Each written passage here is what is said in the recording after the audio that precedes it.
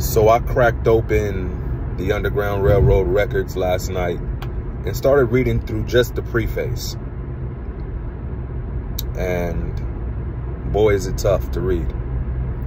It starts out with William Still going into detail about how his mother and four brothers escaped the plantation, but were caught by slave hunters.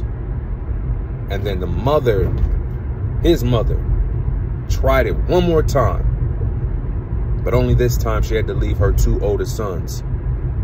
And she took the two younger ones.